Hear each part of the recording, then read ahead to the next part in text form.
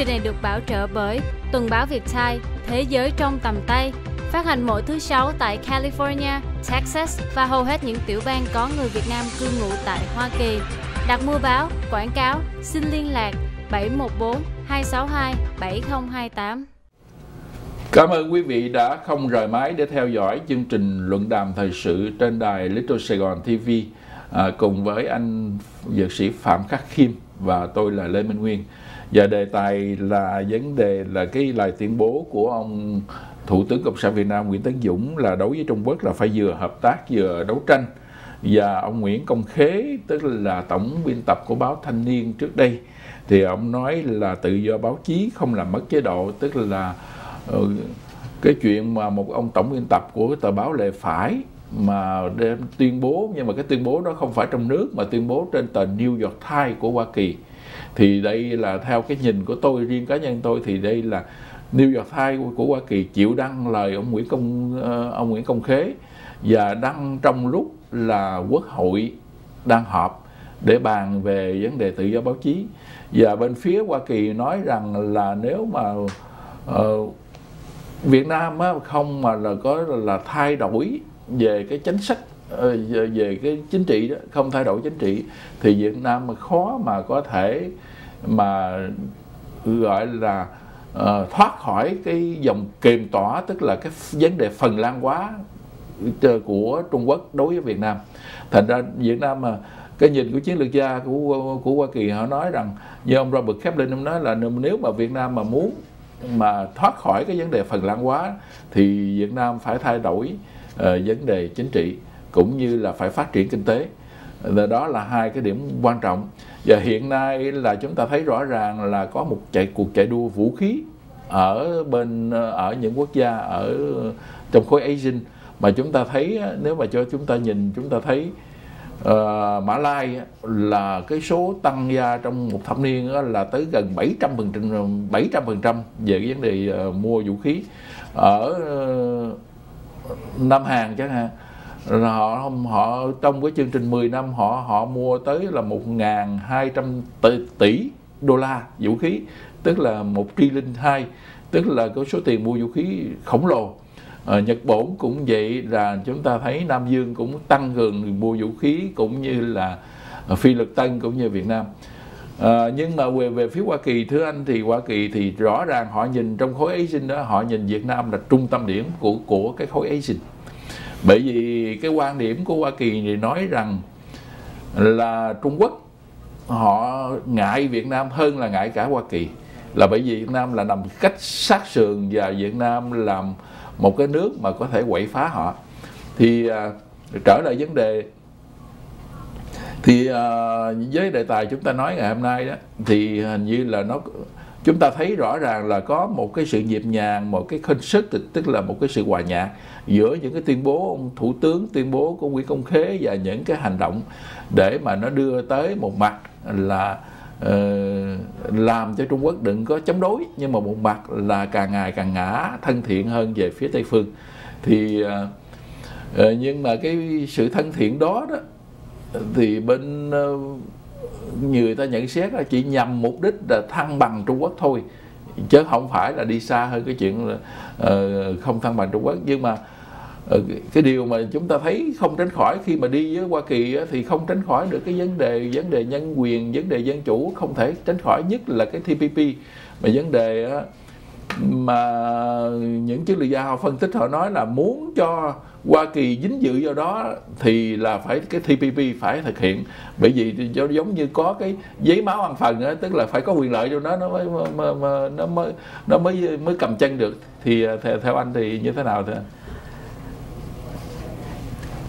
nhìn nhìn ờ, mới nhìn sơ qua là nó như thế. Có nghĩa là phải có nhân quyền thì lúc đó Mỹ mới dính vô. Nhưng mà thực ra nó không phải vậy. Bởi vì trở lại cái thời kỳ Việt Nam vào WTO đó thì lúc đó, đó Việt Nam cũng chưa đạt được cái cái cái những cái tiêu chuẩn vào WTO và đồng thời cái vấn đề nhân quyền ấy lúc đó Mỹ đã lờ đi lờ đi rất nhiều để mà cuối cùng đưa Việt Nam vào cái cuộc chơi WTO tới bây giờ đó thì chúng ta biết rằng cái TPP đó thì cũng đòi hỏi có nhân nhân quyền rồi những cái điều luật như thế. Nhưng mà Hoa Kỳ đã tôi nghĩ rằng nó nó gọi là nó bỏ đi qua rất nhiều những cái những cái đòi hỏi để mà cố kéo Việt Nam vào trong đó. Tại sao vậy? Bởi vì chúng ta biết rằng ông Merkel là trưởng ban là, là ông Merkel đã, đã từng sang Việt Nam để mà bình thường hóa và đồng thời ông kêu gọi Hoa Kỳ bỏ cái cấm vận vũ khí và đồng thời trưởng ban tình báo của của của, của Hạ viện đó, ông đã muốn là làm sao để có thể kéo Việt Nam vào cái phía để mà có thể ngăn chặn sự phát triển của Trung Cộng Trung Cộng. Và điều đó cho chúng ta thấy rằng Hoa Kỳ muốn giảm nhẹ cái vấn đề nhân quyền để mà có thể kéo Việt Nam vào trong đó. Bởi vì nếu Việt Nam vào trong cái TPP đó thì tất nhiên là trong tương lai khi vào rồi trong tương lai cái tất cả những cái vấn đề tự do hay là vào hay là những cái uh, điều kiện ấy, từ từ nó sẽ mở ra và sẽ phải phải thay đổi. Một lúc ấy, bắt thay đổi ngay ấy, để kéo vào đây thì khó. Bây giờ tôi cho anh vô rồi anh thay đổi từ từ giống như là cái TPP giống như là cái cái cái củ cà rốt và cái cây gậy đó là tôi sẽ trừng phạt anh nếu anh không thực hiện thì tự nhiên từ từ có sự sự thay đổi. Tại sao vậy? Khi mà người Hoa Kỳ mà mở các cơ sở tại Việt Nam nhiều rồi thì tất nhiên là người Việt Nam đấy là tôi lấy ví dụ bình thường là người Việt Nam sẽ có công việc việc làm rồi có cơ rồi bắt đầu ít lệ thuộc vào cái đảng cộng sản nó chi phối cái bao tử của mình. Và từ đó, đó à, ảnh hưởng bởi cái đảng nó sẽ giảm đi từ từ. Thì cái đó là cái cách mà mà mà người Hoa Kỳ gọi là cái diễn biến diễn biến hòa bình.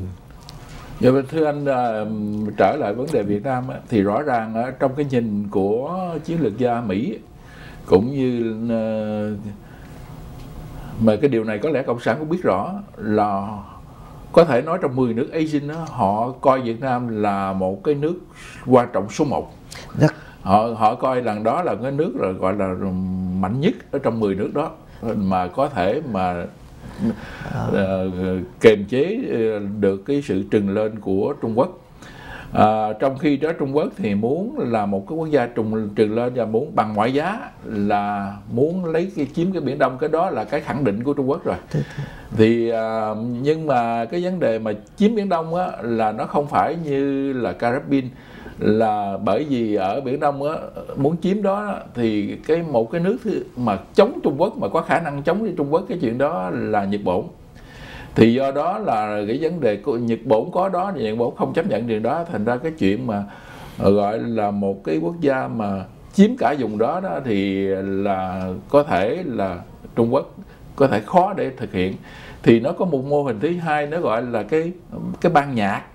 cái ban nhạc Âu Châu bởi vì trước đây á, là Âu Châu á, những quốc gia đó là nó ngồi lại với nhau để mà họ thảo luận từ Anh, Đức, Pháp, Ý là những quốc gia lớn ngồi lại với nhau. Thì bây giờ nó nói là Hoa Kỳ, Trung Quốc, Ấn Độ, Nhật Bản, Úc Châu là có thể ngồi lại với nhau để mà nó quyết định cái vấn đề ở Biển Đông. Thì uh, uh, dù là ở cái, cái, cái thế nào đi nữa thì cái ờ, Hoa Kỳ biết rõ là cái vấn đề Biển Đông là ờ, Hoa Kỳ cũng như Úc muốn giữ nguyên trạng. Nhưng mà Trung Quốc thì rõ ràng là họ không chấp nhận nguyên trạng.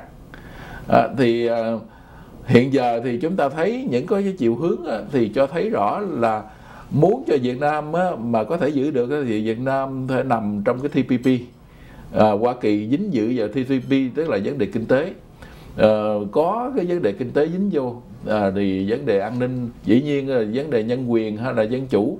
ừ, nó là một trong ba cái trụ cột của chính sách ngoại giao Hoa Kỳ là an ninh kinh tế và nhân quyền dân chủ. Có thể nó yếu hơn nhưng mà nó bắt buộc nó phải có. Thì ờ, để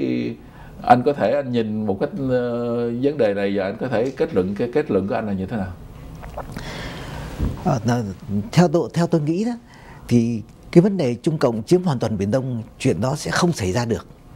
Đó là điều thứ nhất. Cái điểm thứ hai nữa đó là uh, trong tương lai đó trong tương lai gần đấy, thì Hoa Kỳ sẽ giảm nhẹ không phải bỏ sẽ giảm nhẹ về cái nhân quyền để để Việt Nam có thể sớm được vào TPP đó là điểm thứ hai. Điểm thứ ba nữa là cái con đường biển Đông đó là cái con đường mà tất cả các quốc gia ở trên toàn thế giới này sẽ muốn nó thế nào để cho nó tự do hàng hải thì cái điều đó là bắt buộc phải xảy ra chứ không thể nào là một nước chiếm hoàn toàn biển Đông. Và cái điểm thứ tư nữa là tôi nghĩ rằng cái chính sách xoay trục của Hoa Kỳ về Á Châu đó mặc dù là trong cái kỳ tới đó, chúng ta không biết là đảng nào sẽ là tổng có người sẽ là tổng thống nhưng mà cái chuyến sách xoay trục đó, đó tôi nghĩ rằng nó vẫn tiếp tục. Đó là những điểm mà chúng ta nhìn thấy à, tuy nhiên đối với người Việt Nam ở trong nước và ngoài nước của chúng ta đó thì chúng ta không trông chúng không há miệng để mà chờ xung đụng mà tất cả những người tranh đấu ở bên trong cũng như bên ngoài nước phải cố gắng làm thế nào để mình có một cái sức mạnh riêng của mình để từ đó, đó mình có thể kết hợp với lại sức mạnh của các quốc gia Tây phương để tạo nên cái độc lập của đất nước của mình và đó chính là lý do mà tôi nghĩ rằng trong thời gian vừa qua đó, anh đã mất 15 ngày, anh đi sang miền Đông để liên liên lạc, liên hệ, liên lạc với lại các dân biểu, các nghị sĩ, các những người mà từ trước nay anh đã tiếp xúc và từ đó anh tạo được một phần nào cái sức mạnh của những người tranh đấu ở hải ngoại. Thì điều đó là cái điểm mà tôi nghĩ rằng cái việc vừa rồi đó, anh làm rất tốt. Và trong cái mặc dù mệt mỏi mệt mỏi, nhưng mà trong cái kỳ đi vừa rồi tôi thấy anh rất là vui trở về. Yeah, dạ, cảm ơn anh ờ, Phạm Khắc Kim và kính thưa quý vị. Thì chúng ta thấy có nhiều cái những cái triệu chứng mà cho thấy đó có những cái sự biến biến đổi. Những cái biến đổi này dĩ nhiên là nó không phải như ý ta muốn nhưng mà rõ ràng là có một cái khuynh hướng là càng ngày càng phải như ông Nguyễn Công Khế nói là phải có tự do báo chí và càng ngày càng có khuynh hướng là phải cần cái sự hiện diện của Hoa Kỳ. Hoa Kỳ rất cần Việt Nam và Việt Nam hiện giờ cũng rất cần Hoa Kỳ. Thì do đó hai bên cần nhau thì dĩ nhiên nó sẽ có một số những thay đổi. Và cảm ơn quý vị đã theo dõi uh, chương trình luận đàm thời sự của anh em chúng tôi. Uh, xin hẹn quý vị vào chương trình của tuần sau. Và hy vọng chúng ta sẽ đào sâu về những vấn đề này trong trong những chương trình của kỳ tới. Uh, xin kính chào quý vị.